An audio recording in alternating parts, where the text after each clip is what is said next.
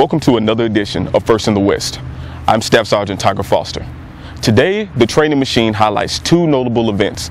The first, a recent award ceremony honoring a soldier for his service and defense of his country. And the second event focuses on a recent Division West run, which will showcase a little bit of Division West esprit de corps. All that's coming up right here with First in the West.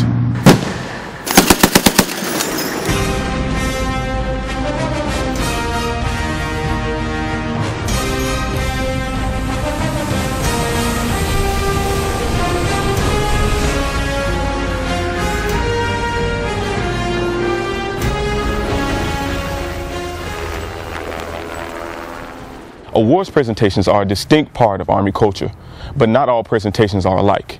In a ceremony in Gatesville, Texas, Private First Class James W. Rhoads was honored posthumously for his actions that took place in the Second World War. Sergeant First Class Gary Stacy reports. The ceremony was dignified as the awards were respectfully presented. In this case, both the Bronze Star and the Purple Heart were received by the daughters of Private First Class James W. Rhoads who passed away in 1999. Those attending this April morning gathering in Gatesville, Texas, were here to posthumously honor Rhoads for the way he served his country during World War II. The reason it's important for us in uniform today to recognize soldiers like PFC Rhoads is because he is our legacy.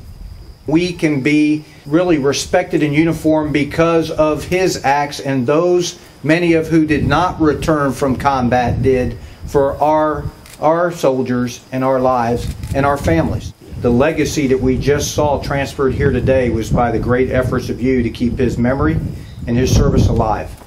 And for those of you who get the opportunity, when you go inside the building there and see the display, his uniform on display, and the pictures, you're going to see a great American hero. Somebody who took pride in not only his service, but also as a person to this nation. James W. Rhoads enlisted in the United States Army in 1942. He saw action on Omaha Beach during the D Day invasion. Months later, he was wounded near Metz, France, and was later discharged in 1945. In this battle where they freed the town of Metz, and 6,500 soldiers died in that fight. Now we think about that 6,500 soldiers died in a fight. I don't know how long that fight last, lasted.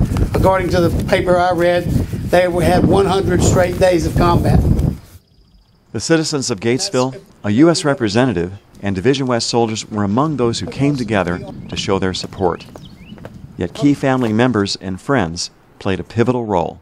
I don't think he would have expected anything this. He would not have pursued this. Uh, he's he was a very humble man, very humble. Right. And it would have been a really big honor for him again to be among all of you. Mm-hmm. You know, our military deserves, you know, ab- above and beyond anything we could ever honor them with. So this is really cool for them to honor the family and honor him in this way. It's a really neat deal. We had a lot of family here. There was a lot of friends and military also that that I know that my granddad meant a lot to them, and uh, so I was proud that you know everybody showed up the way they did, and really proud of the way the military turned out. That very special. It makes me feel very proud, and I'm very honored that um, that this is taking place, and I'm, I'm, I'm very proud for him. For Division West soldiers, the opportunity to take part in honoring such a soldier was also deeply felt. Almost all of them are combat veterans themselves with uh, multiple tours in Iraq and Afghanistan. So they understand the importance of being prepared to go into combat. So being able to recognize a veteran from World War II, it really brings home what they do for a living every day. The important job of preparing those reserve formations to go and succeed in combat and come home, just like PFC Rhoads did in 1945. Reporting from Gatesville, Texas, I'm Sergeant First Class Gary Stacy with First in the West. A Division West run took place just right here the other morning. It involved key 1st Army and Division West leaders, great weather, and an uplifting message to the troops. And oh, did I forget? Division West soldiers.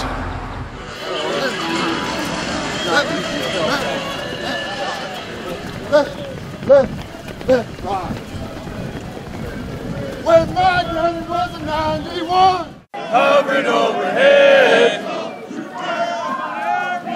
Meet sound of.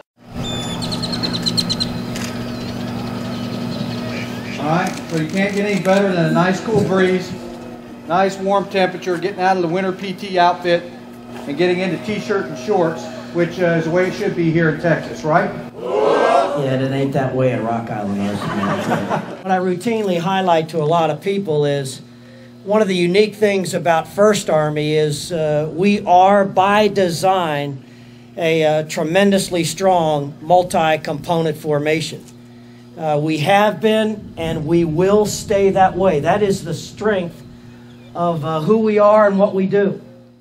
The importance of First Army and what we do, sustaining the readiness of our reserve component partners to include assisting the active component where needed, uh, will absolutely have a place in the future. You know, in our formation, uh, all we do is train. You know, we train those heading to the warfight, but we train those to ensure that the readiness of their organization is sustained for the future. And that's always going to be a requirement. That wraps up this segment of First in the West. We'll get with you next time.